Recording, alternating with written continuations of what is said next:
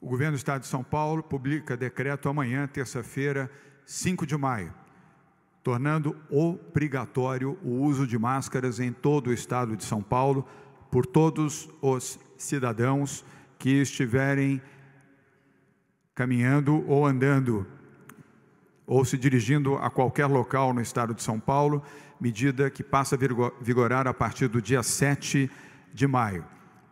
Repito, o governo do estado de São Paulo decreta amanhã, 5 de maio, a obrigatoriedade no uso de máscaras em todo o estado de São Paulo a partir do dia 7 de maio. A regulamentação sobre eventuais punições aos que desobedecerem essa medida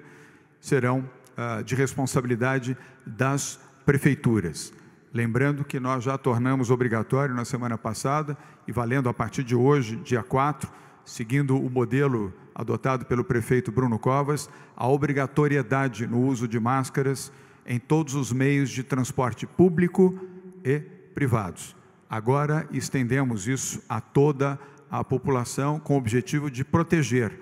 proteger os brasileiros de São Paulo, para que, estando protegidos, tenham menos possibilidade de estarem infectados e, obviamente, de irem a óbito. Portanto, é uma obrigatoriedade, mas eu tenho certeza de que você, cidadã, você, cidadão, que está nos acompanhando neste momento, terá responsabilidade